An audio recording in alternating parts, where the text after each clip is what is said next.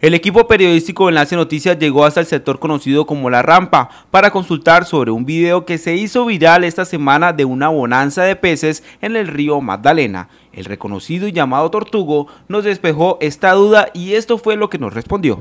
El video sí es, real. El video hoy día, por lo menos como está el pescado en el río en este momento, tú coges una canoa, un motor canoa y te orillas en cualquier orilla, cualquier caño, cualquier pueblito por ahí y te va a brincar el pescado. Sí, es verdad. Pero subienda no es la palabra que en este momento estamos viviendo.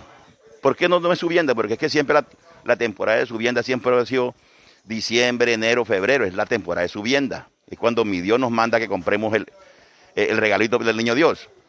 En este momento, debido a los aguaceros que han habido y los crecientes que tienen los ríos, entonces los ríos se han desbordado hacia la ciénaga, hacia los pueblos, por ahí. Entonces, donde hay una ciénaga, donde el pescado se ha salido por ese desborde que tiene el río y ha llegado al río Magdalena es donde en este momento estamos hablando que hay pescado. Sí hay pescado. Asimismo, recomendó a toda la comunidad de comprar estos peces en buen estado y calidad a un precio considerable en el mercado.